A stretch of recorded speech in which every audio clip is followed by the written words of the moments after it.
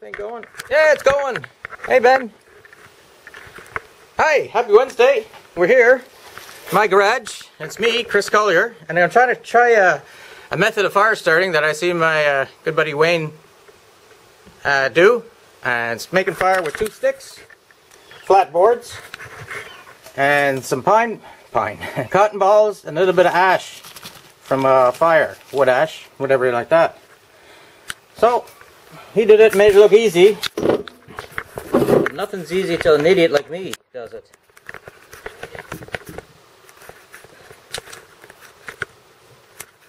So that should be good there. What he did is he took a cotton ball and unrolled it. And then for about the first third, he sprinkled some wood ash on it. I sense a cat out there doing something. And to sprinkle the ash on the first third. I didn't use too much, so I think that's going to be fine. Now this you tightly roll up as best as you can.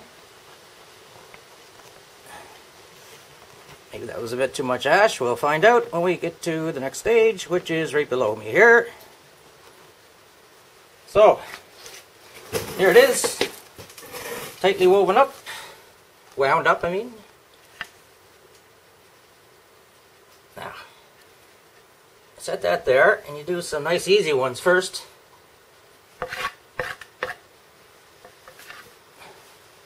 Just to compact it even more and get it tighter and tighter. Eureka, I've made either a cigarette or a tampon. No, that joke will never get old. So once you got it, it's very hard. Then you use more pressure and more speed, back and forth, like so.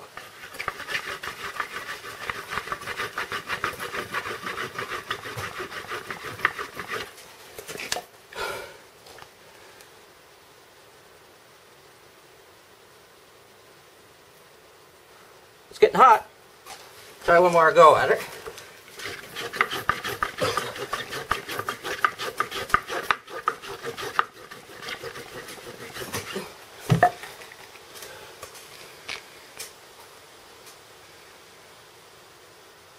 Hot. Don't know if anything's going on inside there or not.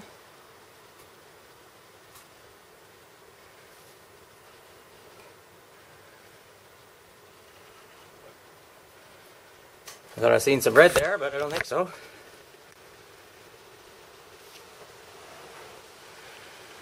Well, try her again. Hopefully this is in the frame.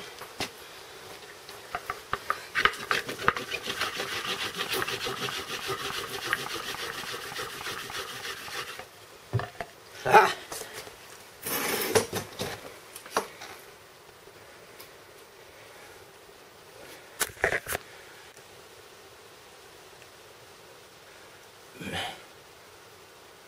Well, it's smoking.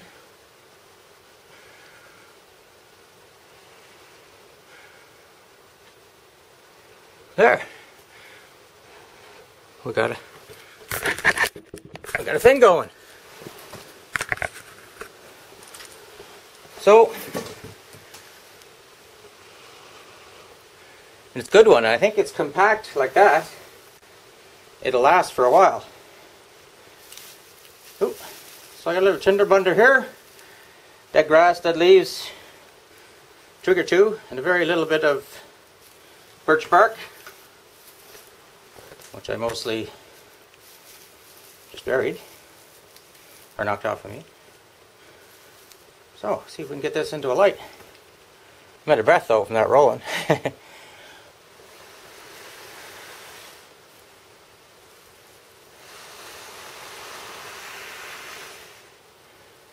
Come on there.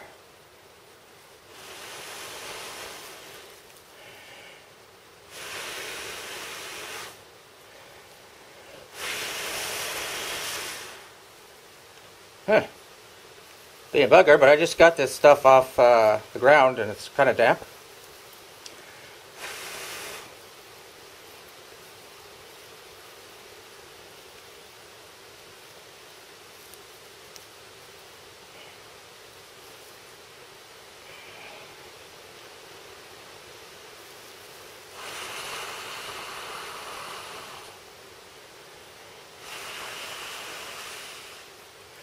I think it's dead.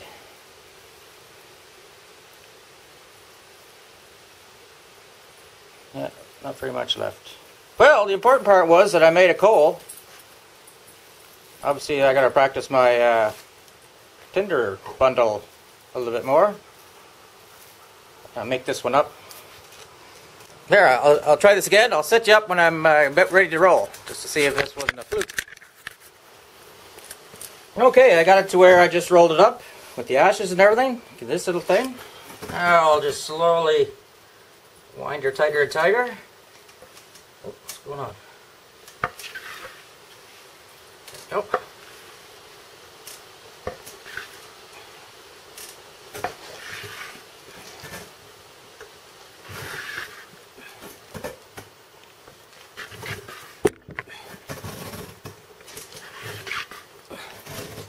One more to do it. I need smarts, I get something to needle on. I don't see anything handy though. Maybe this will help. Can't hurt. Okay, so maybe one more. Okay, let's go for fire.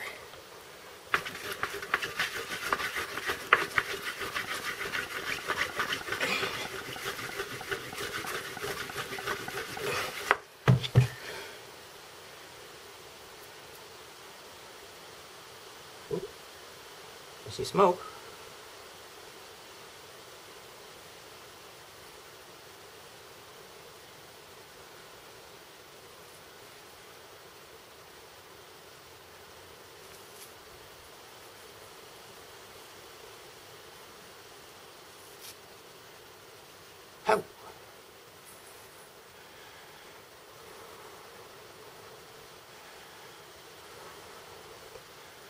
I felt like it was burning. Pretty hot. Am I even the picture now?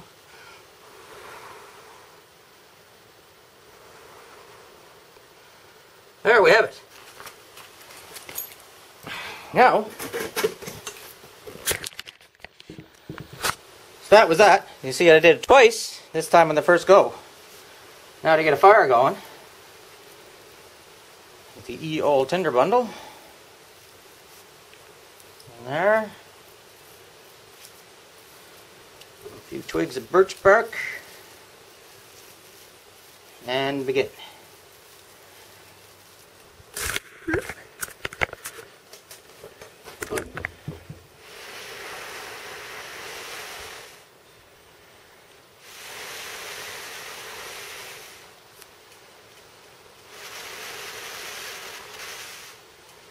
Smoke.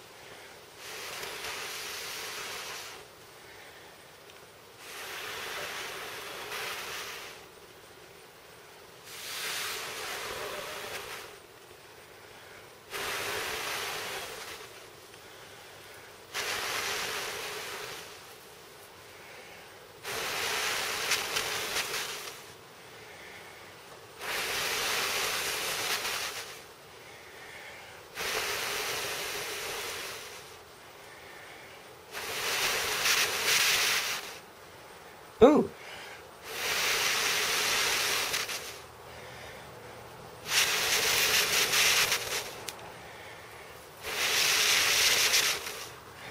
it's either going to go or I'm going to pass out.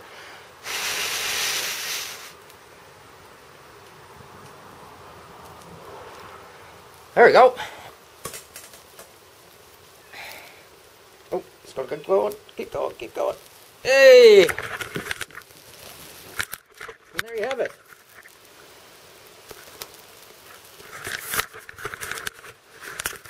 Maybe I should put that out before the sprinkler alarm goes on. Okay, so I've proved that any idiot arcade man can do it. This way. Two pieces of board, a cotton ball, and a tiny bit of wood ash. You see I didn't put very much on. So I'll call that successful. I don't know what that method's called, two board method or something like that, or uh, fire roll, fire roll. I think that's what Wayne called it. So you may be saying yes. Well, this would be for an occasion where you find yourself and all you have is a cotton ball or two and ashes from the night before. and then you lost your ferro rod in the night, or your matches, or your lighter, and all like that. But you're saying, well, what are the chances of finding two boards like that out in the woods? And if you go to Wayne's channel, Kull Craven, on YouTube, K U L L C R A V E N. Uh, first of all, check out his channel. He's uh, he's got excellent videos up on bushcraft and uh, does reviews too, which some find handy. I don't do them. And uh, he does it. He put a video up today where he does it out in the woods. He's got a fallen log that he smooths off. Then he splits another piece of wood that splits off, and then he works on it to make them smooth as possible. And uh, lickety split, he got it going. And uh, actually, he had problems with his uh, tinder bundle too because it's damp over where he's from in New Brunswick. Anyway, thanks for dropping by, and uh, now we go on to the important stuff, the red wine tasting. Glad you could uh, follow me through this into the red wine, which I know you guys all like. So cheers for later. Hey, Ben. Let me through here. Let me through here. It's starting. It's starting. Hey, we made it. How was about that? That was some pretty exciting stuff there. Uh, starting a fire with a cue ball, cue ball, cue ball, cotton ball, and uh, ash. Ash? No, ash. Yeah, but I think I'll do my videos like that now. I think I'll do some kind of video on something else and then bring you back here for the wine or the beer. Uh, I'm not getting many uh, packages to open and I know some guys like the opening up of packages but some probably don't care to see it. And the last couple times I didn't have any packages, you just had to sit through me blabbering away for 15 minutes. So this is what I'm going to do for today and uh, Friday too when I get the beer. I got something planned for then too. Uh, which could be actually trying that uh, roll fire attempt out in the woods. Hopefully it's going to be a sunny day so it's not too wet and damp everywhere.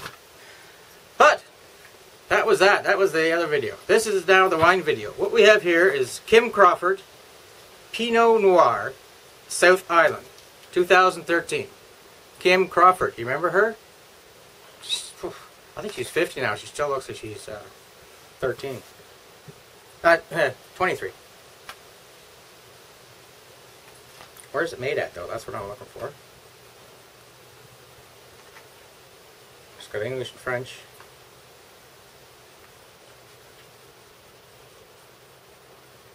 Central Otago. Mm. I guess we'll never know. Anyway, uh, I didn't want to read all the backs because that's got things in And you know what? I just had this thought just before I started. This is expensive wine. It was 23 bucks on sale for 21.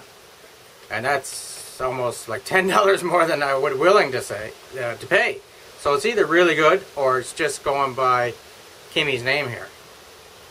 I think it's probably more Kimmy's name. Oh, it smells good though.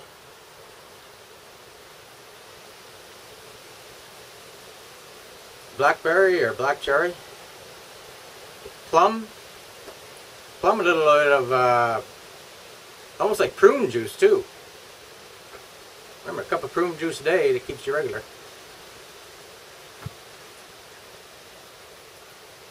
It is a good smell. I'll give you that. So maybe it is worth 23 bucks. I don't know. I, I doubt it.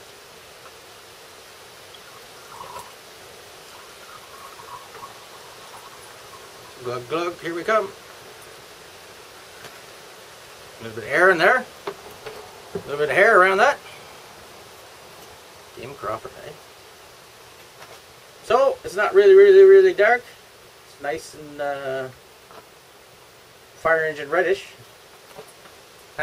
no, not really. It's red anyway. Let's try the smell.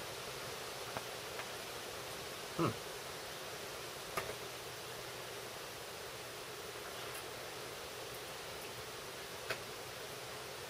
It's not as uh, concentrated as it was before. Maybe the fact that you smell it from the wine bottle, everything comes out of here, and you get almost your nose right around that. It still smells good. With those flavors I said before. Yeah. Very fruity. Fruitaceous. Fruitaceous? I was thinking herbaceous. Fruitaceous. It's gotta work, doesn't it?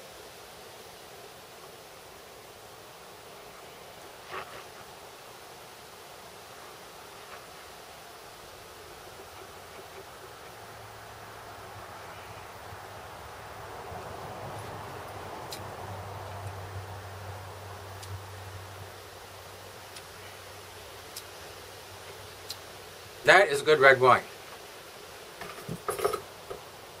I'm not saying it's worth 23 bucks,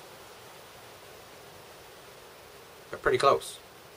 It's good and smooth, not too dry. Very fruity flavored grapes and those red cherries and black cherries and black Angus. Black Angus. Yeah. Hmm. So, yeah. Pinot Noir from South Island. South Island means to me New Zealand. So let's see what we get this. Some of the most spectacular, beautiful vineyards in the world are home to the silky Pinot Noir. The foothills of Marlborough deliver bursts of plum and strawberry. Strawberry, no, I didn't see that. Yeah, maybe. I got the plum, though. While the breathtaking terroir of Central Otago present black cherry and spice. Juicy with fine tannins. Yeah, it's not very tanniny, I'm sure. This wine is superb with herb crusted lamb, yeah, mushroom risotto, or all on its own. Maybe lamb with mushrooms and risotto. I'm pleasantly surprised that it is as good as it is. I was gonna say maybe maybe you got a hot date or something like that coming over. You could you, you could buy this. Uh, if your hot date is is female, that's I mean, um, maybe if well, I'll tell a, tell my joke there for a second. Got a hot date coming over, so maybe you want to invite Kim Crawford along as well. There, I said it. Now, if your hot date is a guy, uh, maybe you get Wayne Gretzky in there, or Mike Weir. That's two Canadian guys. I don't need celebrities with other wines. Oh, I do, but it's on it's on the tip of my tongue, which I can't see yet. Anyway, I give this two thumbs up for sure.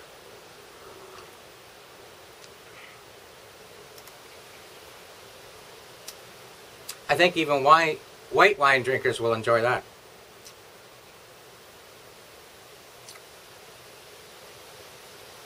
yeah, I'll enjoy it too.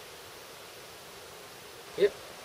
Anyway, lots of fun, and uh, I'll have something next time. Uh, I said it was, you know, it's good that I got the other video. I'm not going to drone on, and here I am droning on. All right, sum up here. The wine is great. Kim Crawford Pinot Noir from South Island. And even though they're not saying it's from New Zealand, uh, what did it say it was from? The foothills of Marlborough and central Otago. Otago. I'm going to have to look up there, see. Oh, uh, there it is, there it is, there it is. Produced and bottled by Kim Crawford Wines, Station Road, Huapai, New Zealand. Prague, New Zealand. I was there twice. anyway, I love New Zealand, and I kind of love this wine. So thanks for dropping by. Have yourself a good week, the rest of the week. It's supposed to be nice here. Definitely the heat went down. It's not so uh, humid out and muggy and, and stuff. Ben is sleepy. Ben just had a great big steak with a marrow bone inside it, so he's all fat and tired now. Anyway, thanks for dropping by. Check out Kull Craven on YouTube if you're interested in something like that. And uh, come on back Friday, and uh, maybe I'll get the video of me making it out in the woods up uh, that time. Okay, thanks. And this is Chris, out. Ah, New Zealand, or Africa, uh, Africa, Australia. There's New Zealand, like that.